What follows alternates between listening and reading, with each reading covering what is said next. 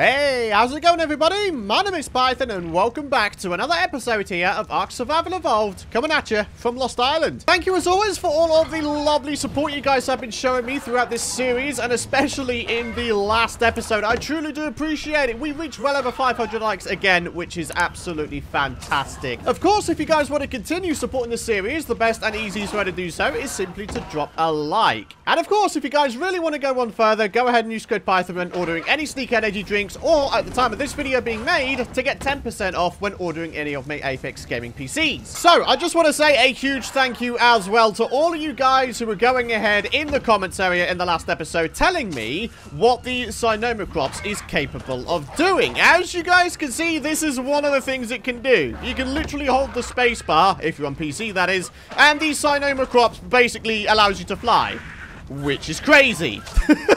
So, in terms of going ahead and ranking up stats for the Sinoma, a lot of you guys were actually recommending that I rank up its stamina as well as its carry weight. So, as you can see, the stamina at the moment is just ticked over to just over a thousand, which is lovely. The carry weight, of course, is something that needs to be buffed a hell of a lot as well if we wanted to use it as a backpack as well. But, in addition to flying, we can go ahead and press the C button, which would be crouch. And look at it! Look at this! This is fantastic! You can glide with the Sinoma as well. This is so cool though, dude! this dino is ridiculously useful. Like, really it is. You can go ahead, hold R as well. You can enable auto scream. Apparently, according to you guys, it will go ahead and scare away a whole bunch of the smaller dinos, which is absolutely ridiculous. So we got ourselves a little bit of a group here. Let's go ahead and give this thing a go. Scream! Yeah, you better run there, son! Yeah! Alright. Is there like an easy way of making it so that the Sinoma just sort of flies off your shoulder? Enable auto scream requires aggro. Huh. So if I aggro the creature, then it will start to scream and scare it away. Wow. You guys might be onto something saying that it's epic in caves. I haven't even found a single cave on this map so far. So, I don't know. That's something I think we need to change at some point. So, perhaps what we need to do is change its behavior. So, we've got stance, attack target. We've got passively, definitely not neutral. Possibly could be one we're looking for. Attack my target or aggressive. If it's aggressive, it will literally go for everything in a cave, right? I mean, a whole bunch of buggies, Araneos, and Arthros, I imagine it'll go for as well. I don't know, man. I really do want to see just how effective this guy is against buggies. I think it'll be a super fun thing to find out because at the end of the day, I've never ever tamed this dino before and I'm interested to see just how effective it is. Anyway, the first thing I want to do in today's episode, aside from, you know, trying out this Sinoma's various bits and bobs it can do, is I want to go ahead and make the chainsaw. I now can. We've got the cementing paste, electronics, metal ingots, and polymer required for it, and I want to go ahead and birth a couple of Tek parasaurs into the world, kill them when they're adults, and then see just how effective the chainsaw is at getting a ton of materials, because, yeah, if we could get ourselves more and more metal, I think we'll be onto a winner here, ladies and gentlemen. Oh, okay, so you literally just use it, and then it automatically fuels it from the gasoline in your inventory. Okay, interesting. All right, well, let's go ahead and uh, take a couple of Tek parasaur eggs out of here. As you can see, it's entirely full, and that is why these guys are no longer doing anything. Uh, so, yeah, let's go ahead and uh, light the fire uh, let's see what we can get going here. Hey guys, random side note, check it out. This one seems to have a color mutation here because, you know, he's got a red head. That one's got a silver head. This one appears to have a pinky purple head, or fuchsia, I think the color might be. And if we go into the ancestors thing here, it does indeed say that there's a mutation here, which is pretty darn interesting. All right, what about this one? No mutations on this one. I didn't imagine so. But is this one literally just a color mutation? So if the mutations add levels from the base level, which of course 35, 35, this one's 39. So, yeah, it's got more levels, man. Anyway, I guess as we go along and we get ourselves some more breeding pairs, we can start experimenting a little bit more with mutations a little bit later in the series. But uh, yeah, it's certainly interesting for now to see that we do have a little uh, Parasaur mutation here. All right, so we're going to keep hitting them both. Okay, so they're now both dead. So now what I do is I take the chainsaw and start going to town. Ah! Wow. wow. Thank you so much to all of you guys who were suggesting we get ourselves a chainsaw. Holy crap, man. From two Tek parasaurs, we got over 600 metal. Just, wow. Just wow, man. See? Who says I don't go ahead and read the comments area of my videos, huh? oh, dudes, I really appreciate you guys for going ahead and letting me know about that one. Oh, fantastic. Absolutely fantastic. So I guess that means we have a whopping great source of metal once again. So we can start going towards our industrial forge goal. As you can see here, we are approaching the halfway point in terms of the metal requirement. And now that we have an amazing way of getting metal from Tek parasaurs, like this is this is just fantastic. It literally is just a waiting game at this point, let's be honest. Alrighty, folks. So, the next load of comments I was going ahead and reading was about the Quetzal taming. Some of you guys were saying that there's like a, a, a net or a net projectile which requires the harpoon launcher, which, I'll be honest with you, I don't think I've ever actually crafted the harpoon launcher before. I don't think I've ever used it. So, this should be a pretty interesting one. So let's go ahead and check it out here. The Harpoon Launcher. Uh, oh, wow. Okay, so there's a fair amount of requirements for it, but I do believe we've actually got everything we need for it. And there we are, ladies and gentlemen. All of the resources needed for the Harpoon Launcher. 60 cementing paste, 60 fiber, 25 hide, 120 metal ingots, 50 obsidian, 30 polymer, 40 wood. Holy crappers! That's a lot of stuff, isn't it? That is a lot of stuff. All right, so can we make the net projectile here? No, we cannot. Where do we make the net project? Oh, it's right here. Oh, okay. Well, that seems pretty simple, doesn't it? We just got to have a little bit of metal on us, a little bit of fiber, a little bit of polymer on us, and we're just about there. There we are, ladies and gentlemen. The net projectiles. We're going to get five of them for now. I don't actually know just how effective they are, if at all. But if you guys are right and they allow us to temporarily incapacitate a Quetzal in that it can't move anymore, then uh, yeah, this will be more than worth it. Oh, snappers. All right, so what we need to try and do, ideally then, is we need to try to find a Quetzal that is ideally above a beach because let's be honest those are mostly the safest areas on this map in terms of not having too many hostiles around. So what do you guys think huh? Remember that Tek Quetzal we found at the beginning of the last episode? Could it be time? Could it be time? That is the question isn't it? I'm excited but i'm also very nervous at the same time so Let's take our Griffin here after ranking up its melee damage a little bit. And uh, we are going to attempt this thing. So, there is the Tek Quetzal right there, but at this particular moment, it's in a very, very bad place because there is, in fact, an Alpha Raptor just down there. And I don't feel like, oh, it's just, it's just gone out of view. Ah, darn it. Do you know what? I'm actually kind of tempted to uh, continue hunting. Maybe we find ourselves a Quetzal in a slightly better location. Ideally, I'd like it to be around these islands here because that, in my opinion, is probably going to be the safest location in which to take a Quetzal down to the ground. Oh! It's a, it's a freaking 140! Hang on, hang on, hang on, hang on. we got to do something here. Uh, yeah! Darn it! It's really... Wait. Oh, I thought... Wait, is it above the... I can't tell if it's above the freaking thing now. Uh... Oh, no, it's got above... Oh, it's got above the water. Okay, well, maybe I can attempt to take it down on this island in front of me instead. However, floating above the island where I just spotted it is also a good way to go. All right, what do you guys think, huh? Uh, yeah! Yes! Yes! Down you go! I can't tell where I am anymore, if I'm honest. Okay, okay, here we go. Boom. 619. That is crazy. Oh my god, I actually can't believe this is working.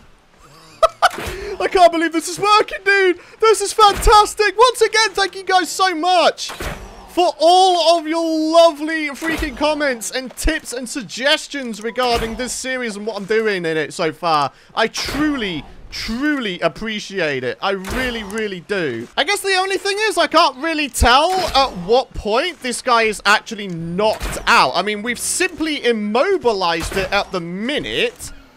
But uh, I would imagine, I mean, does hitting it in the head do any extra...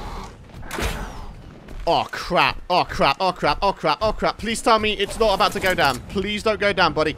Okay. Right. That's it. Yeah, yeah, yeah. Keep going. I will allow you... Come on, buddy. No. No, no, no. You can't do this to me again. Oh, boy. This isn't very good, guys. I hadn't shot an arrow into that Quetzal for a while either. Like, a while, while. I mean, it's almost certainly, like, its oxygen is going down.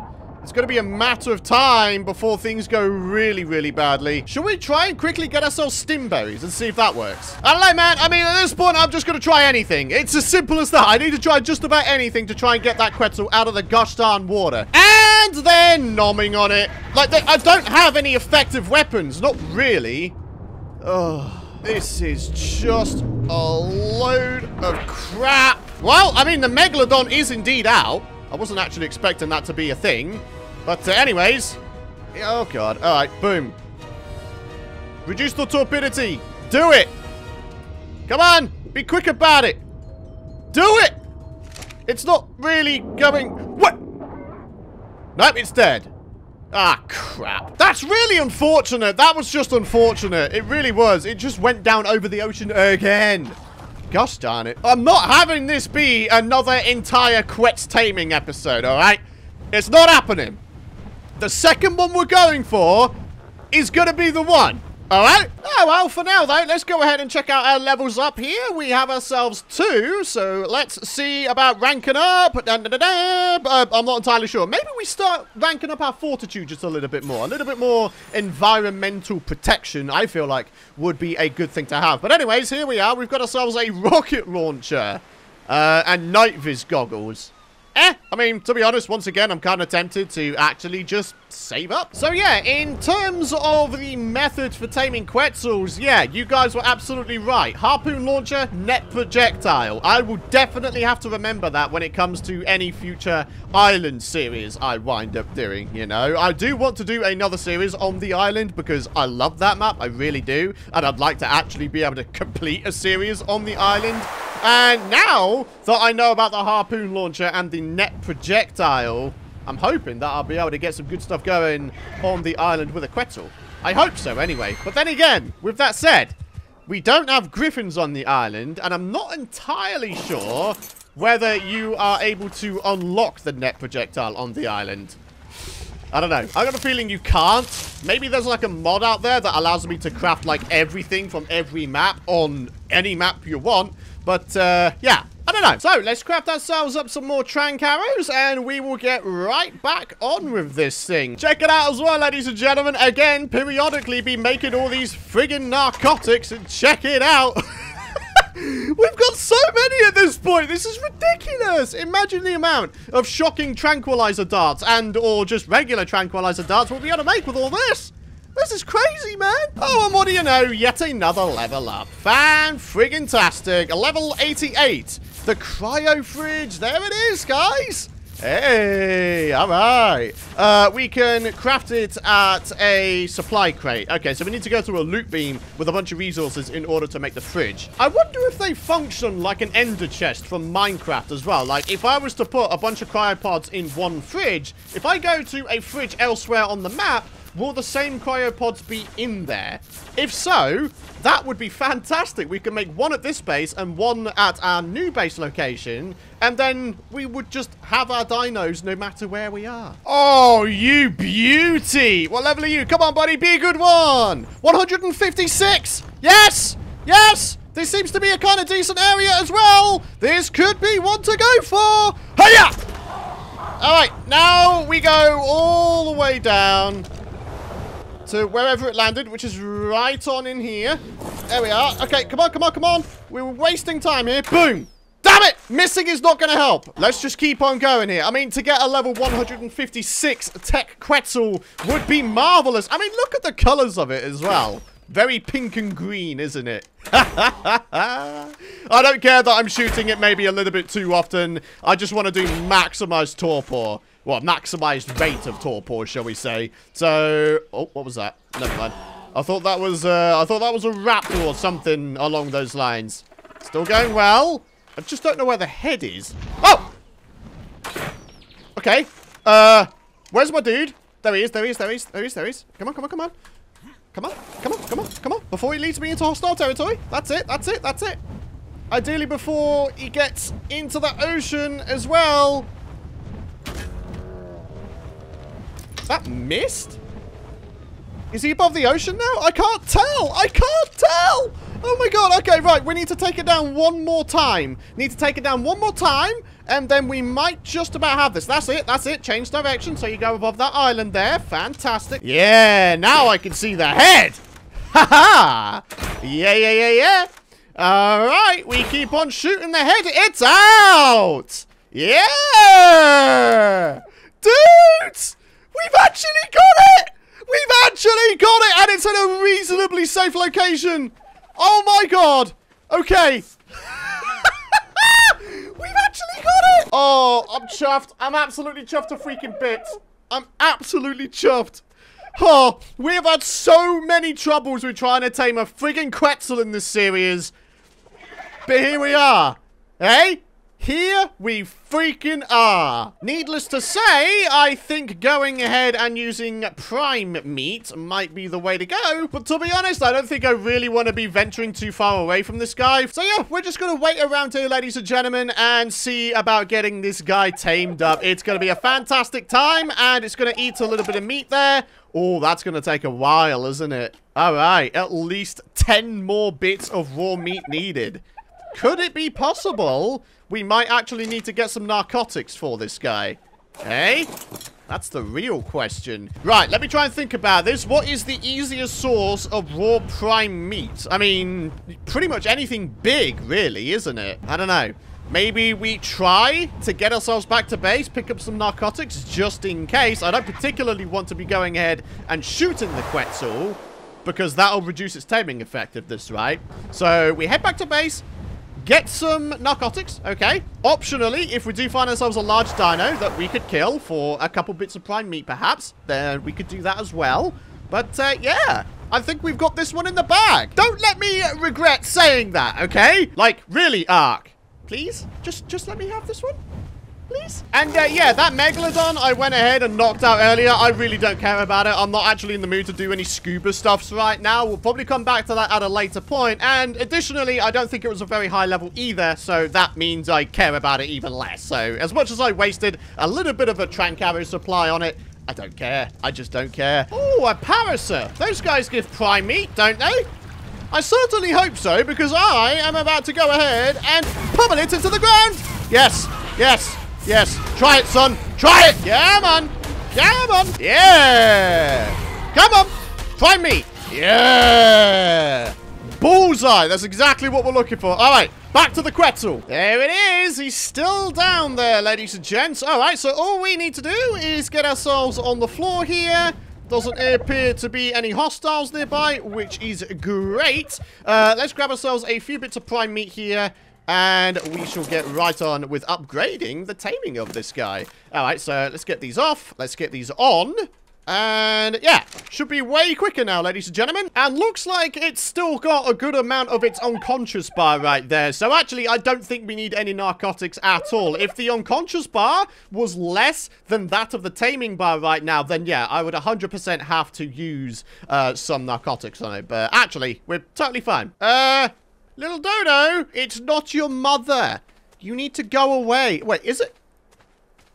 The dodo is inside the... Yeah, alright, alright, Ark, yeah. Uh, apparently, dodos can no-clip into Quetzals.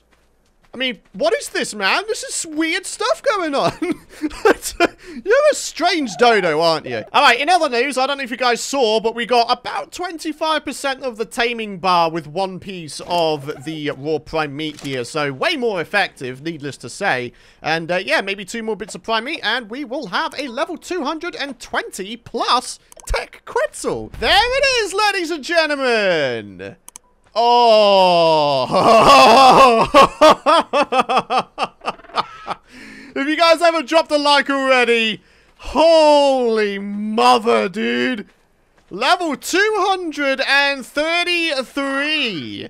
Probably the second highest level dino tame I've had so far this series. The first one, of course, being that Tek Raptor we got in the last episode. Let's check out this guy's stats. Wow! 8,500 health, 2,400 stamina, 1400 carry weight, near 400% melee damage, and 136% movement speed. Wow, just, just wow. Wow doesn't even cover it, dude. That's a crazy amount of stamina. I've never seen a dino with that amount of stamina before. That is ridiculous. oh, this is great. If you can't tell already, I'm pretty damn chuffed about the fact we finally got a Quetzal. And it's a bloody good Quetzal as well. so do you know what I feel like doing for the rest of today's episode? I feel like we should take our Rex to the desert and we go on a hell of a dino killing spree. I mean, what better way of gaining XP for both your dino and your player than to go ahead and go on a bit of a killing spree. I must admit, though, I am kind of tempted to make myself a Quetz saddle, just a regular Quetz saddle, and see what kind of damage this guy can do, and more to the point, see if it's an effective killing machine, because if it is, then it might be an idea to use this guy instead of the Rex. I don't know, dude. Maybe we try the Quetzal first, and then failing that, if it doesn't do a lot of damage, then we'll go for the Rex instead and rank up the Rex a turn. I mean, just look at it, ladies and gentlemen. A beautiful dino indeed. ah, Silica Pearls is something we do not have so far in our world. I don't even know where the devil you find it, to be honest. I have no idea. I mean, usually you get silica pearls from those little clams that are underwater. The easiest way I can think of is to kill the trilobites, but we tried that before, and we couldn't find a single freaking one. So, where, oh where can we get silica pearls from? All right, real quick, I'm actually going to make myself a GPS because I'm looking at the Ark Lost Island Explorer map to the left of me on the wiki here, and uh, it's actually saying that there is a silica deposit not too far from my base here. Oh! I think I found some, guys! Alright, I've got to be quick about this, though. Oh, no! I'm so slow! I'm so slow! Huh! 184 silica pearls! Oh, dude, this is going to be such a pain in the butt process.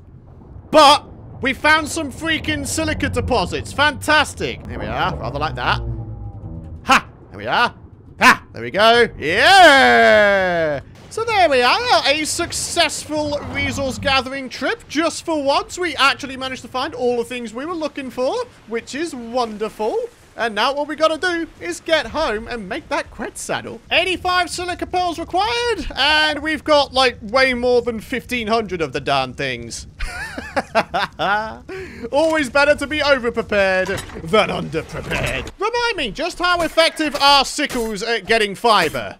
Uh, yeah, okay, very, very effective indeed. Whoa! Tek Quetzal has a level up already. Oh, you are a slow fella, aren't you? Wow, okay. So about 400 health added for each level up, which is great. I'm pretty happy with that. I can't wait to rank this guy up a whole bunch because, yeah, we'll get a bunch of health, a bunch of stamina, a bunch of weight, a bunch of melee damage, and a bunch of movement speed. Honestly, it's just about everything I wanted to rank up with this guy. Do you know what, though? I just came up with a way quicker way of getting the Quetzal to its destination. If we take a way faster flyer, for example, the Maewing over to the desert and then simply on Cryopod the Tek Quetzal and then Cryopod the Maewing. Makes sense, doesn't it? Into the Pokeball you go there, Mr. Tek Quetzal. And then we will take, oh, the Maewing or the Griffin. Maewing or Griffin? Griffin's got 6,000 health. The Maewing's got 3,000 health. Eh, let's go for the Griffin. Solid. Oh, uh, shouldn't forget the Quetzal's food, huh?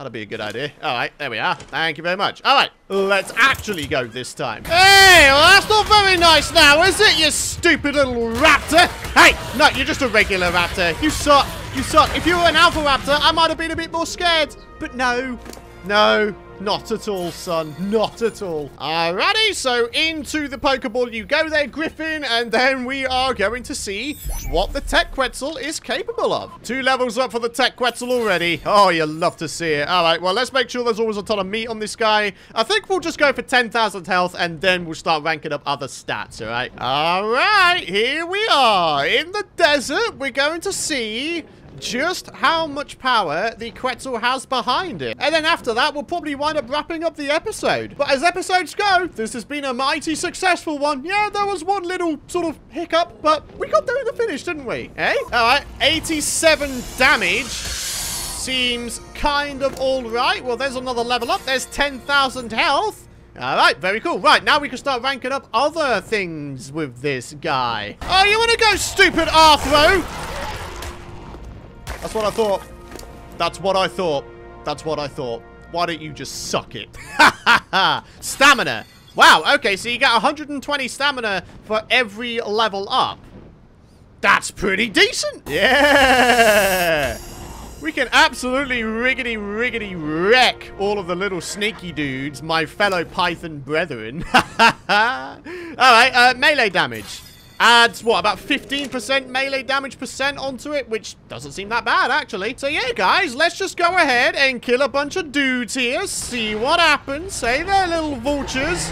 Yeah, wrecked. Oh, it is the vultures that give you all the spoiled meat. Yeah. Very nice. So if you're wanting spoiled meat, vultures are the way to go. Hey there, fellow Pythonators. Do you want to die there, sir? Oh, I think you do. Look at that. 94 damage is now the amount we're doing towards these fellas. love to see it. Absolutely love to see it. Ruining these poor saps. Ha! All right, another level up. Oh, two levels up, in fact. Uh, all right. Increasing weight goes, what, about 70 per time? Decent, man. Decent. Hey, Budsky! 94 damage. Very cool. Oh, wow. What, you think your poison is really going to be an effective means of stopping me? You what a dummy. Go on. You might as well just accept it. There you go. 137 chitin. Coolio. Hi, Arthro! What a dummy you are. oh, my Quetzal is just absolutely ruining everything in existence. You know what I think we should go for just to finish off today's episode, though? Maybe some mantises, maybe a little bit of organic polymer. Maybe what we could do is use this on them and see if we get even more organic polymer. Here we are, guys. We have not one, not two, but three mantises. We shall see uh, what this guy is capable of doing. Oh, my goodness me. There's a small scale war going on here. And guess what? Your boy's about to swoop in. Oh, come on. Come on. Come on, at least try. All right, so we managed to get that one. So if I was to go ahead and use the chainsaw... Ah, crap! I don't know what that was, if I'm being honest, but hey-ho. Anyways, another level up. Let's go for more melee. Because why not? All right, another small group of mantises over here. We'll take them down, and we shall see if we can get an increased yield of organic polymer. Okay, let's see what we can do. Come on then, fellas! Come on. Yeah, 100 damage, huh? 100 damage. Oh, one one's already out the game. Okay, come on. I ideally, okay, there's a level 90 out the game. Oh, come on. All right, let's see what happens. So that mantis pretty much like instantly got wrecked. I think that the chainsaw is not the way to go.